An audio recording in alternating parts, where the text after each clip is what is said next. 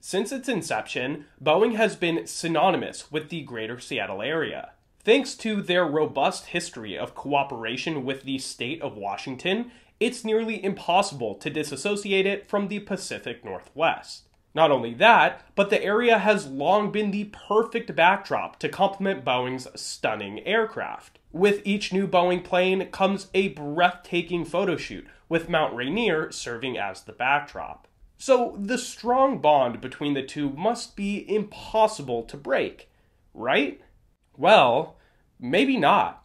In recent months, Boeing's decided to move the entirety of 787 production out of their Everett hub in order to survive the COVID 19 crisis. And this move, which was once considered unthinkable, could mark the beginning of the end of this long and historic partnership. Let me explain.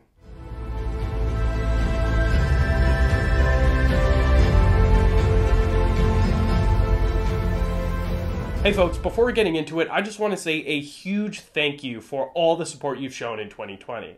I literally started the year with 1,000 subscribers, and now I'm somewhere in the ballpark of 49,000, which is wild. I run this channel entirely by myself, right? From writing the scripts to editing the videos, of course, presenting, and then promoting them you know, it, it, it brings me a lot of joy to see the work that I've been doing touch so many people.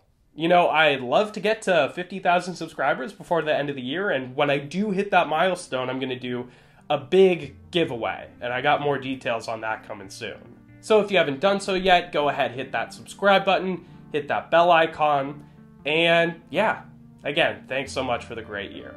Now, Boeing first set up shop in Washington state way back in 1910. In that year, the company's founder, William E. Boeing, bought a boat manufacturing facility along the Duwamish River, which would later become their very first airplane factory. Over the course of the next several decades, thousands of workers flocked to the area in search of work, and before long, Boeing became integral to the region's economic success.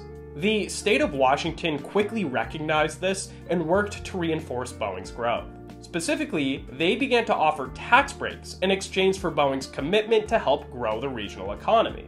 Boeing responded emphatically. In 1967, they started to build what would later become the world's largest building in Everett, a town just outside of Seattle. This new behemoth of a facility would act as the final assembly hub for nearly all of Boeing's commercial aircraft, and today turns out 747s, 767s, 777s, and 787s. Additionally, Boeing built a second factory in nearby Renton to assemble the workhorse 737. Over the years, Boeing and Seattle continued to publicly reaffirm their burgeoning love affair. For instance, during the 747 8 certification campaign, Boeing painted one of their test planes in a Seattle Seahawks inspired livery. At the time, it would have seemed unfathomable for Boeing to ever leave its hometown. But behind the scenes, such a move was actually well underway. The relationship first began to fray in 2001 when Boeing officially relocated their corporate headquarters to Chicago. This decision was questioned from the start, as it would put physical distance between senior leadership and engineers. The concern was that this would disrupt communication between the bean counters and those in charge of design, which could have devastating effects. These concerns were amplified a decade later when Boeing made a decision that would tee up the 787's eventual move. By 2011, the 787 was in extremely high demand. In order to meet this demand, Boeing set out to build 10 a month but its facilities around Seattle were not sufficient to accommodate that rate of production.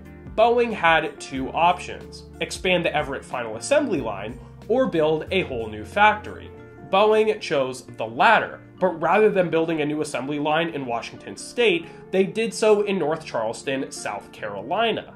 This new South Carolina plant would start off by building four Dreamliners a month, while the Everett factory would build six.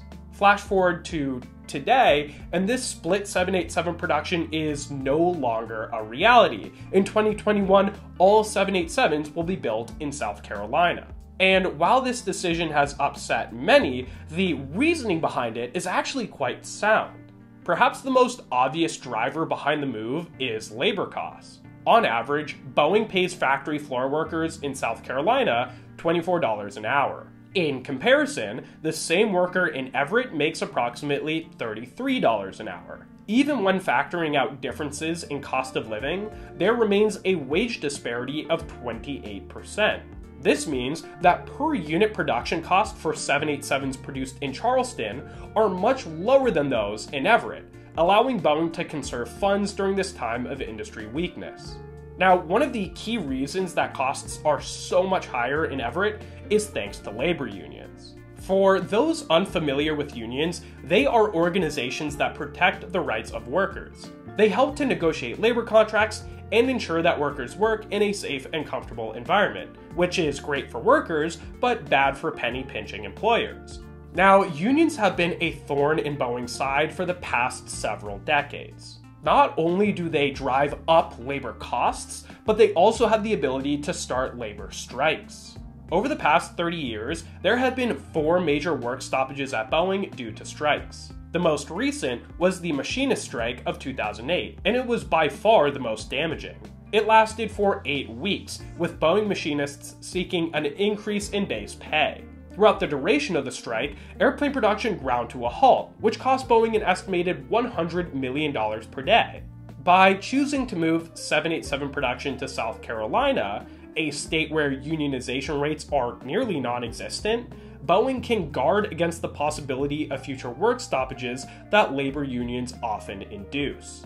A third but equally as important factor in Boeing's move is state backed incentives, or rather the lack thereof.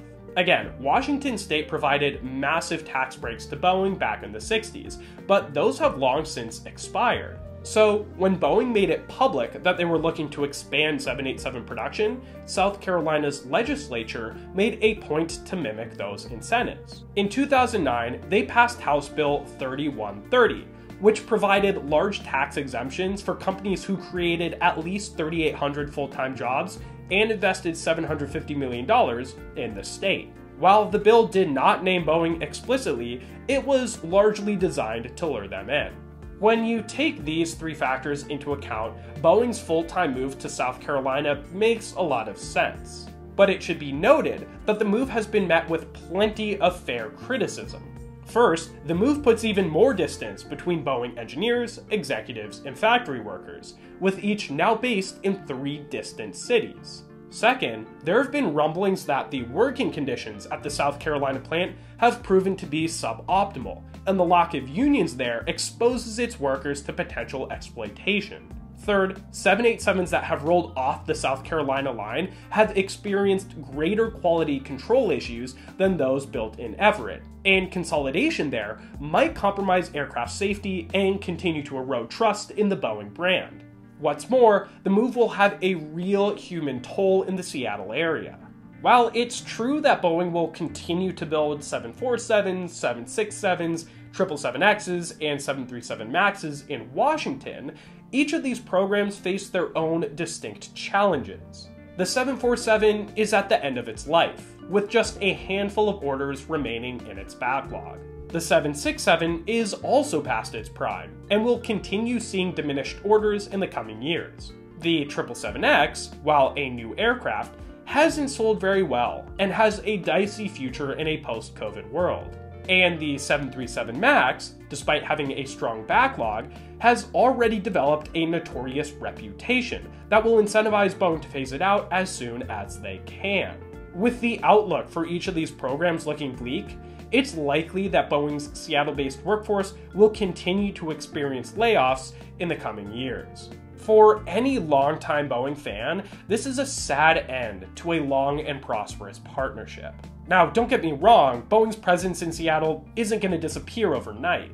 But it's clear that this mecca of commercial aviation has seen its best days go by. All we can do now is hope that the move to South Carolina will be enough to keep Boeing's head above water. Because, as sad as Boeing's departure from the Pacific Northwest might be, an even sadder reality would be one in which Boeing doesn't survive the pandemic at all. And I'm sure that none of us here want that to happen. Have you guys ever been to Boeing's Everett factory before? If so, sound off down in the comments. My first trip there was back in November of 2018, and it was a really inspiring experience. So inspiring, in fact, that upon returning home, I started doing research on how to start a YouTube channel. And here we are. Thank you so much to my patrons for helping to make this video possible. If you want to join the Patreon community and help this channel to grow, check out this link right here. And as always, if you learned something new today, leave a like and subscribe to keep learning. And until I see you again, don't forget to look up.